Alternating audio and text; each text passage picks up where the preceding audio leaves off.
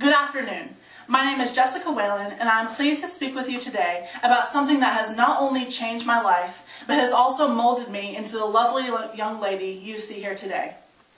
Aristotle once said, Music has the power of producing a certain effect on the moral character of the soul, and if it has the power to do this, it is clear that the young must be directed to music and must be educated in it. I've been involved in theater for over eight years now, and in those eight years, I have performed in over 25 productions, including musicals, plays, and one acts. Before theater, I was very shy and did not speak to people much outside my family and closest friends, but theater has helped to change that. And those of you involved in theater will know that theater has the most drastic power to change your life and can bring out the most amazing, outgoing individual that's been hiding inside of you for all this time. For the next few minutes, I'd like to discuss with you the three traits that theater has given me and how it has changed my life. Trait number three on my list has, is expected of theater and can change lives in the most drastic way. This is confidence. Confidence is having self-assurance and being able to put your trust in someone or something. A confident person knows how to express their feelings and is not afraid to speak their mind. Performing on stage in time has given me more confidence and has helped me learn more about myself. It is possible to make mistakes in theater, such as forgetting lines or singing the wrong note. But for me, these mistakes have been a learning experience and have ultimately made me a stronger person. Without confidence, you can develop a fear of interacting with others.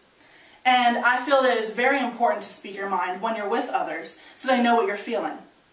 There is a time and place, however, to speak your mind without feeling rude or insensitive. And but when you speak up, I want you to speak with confidence and uh, tell, let people know how you feel. With confidence and that theater has given me, I have learned to come out of my shell and no longer have a fear of interacting with others. Which brings me to trait number two on my list, teamwork. Teamwork is the ability to work together toward a common vision the ability to direct individual accomplishments toward organizational objectives.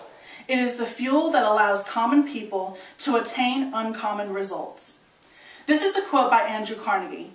Andrew Carnegie is the leader of the steel industry and in the late 19th century and possibly the most um, important philanthropist of his time.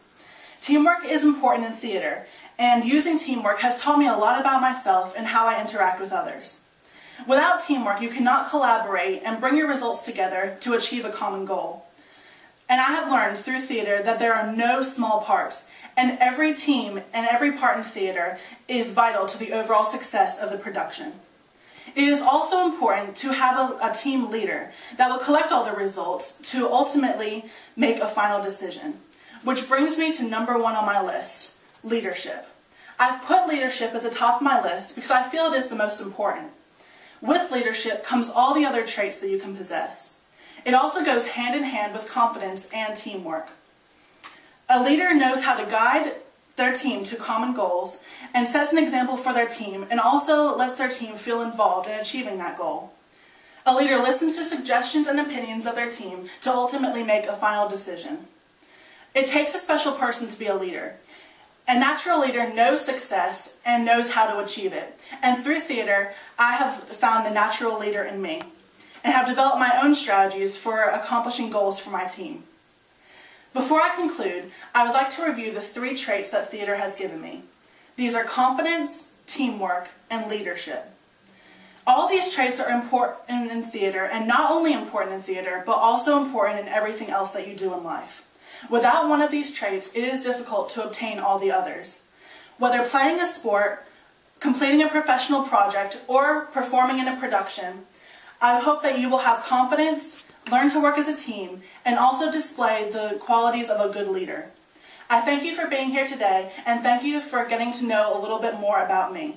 And as we say in theater, end scene. Thank you.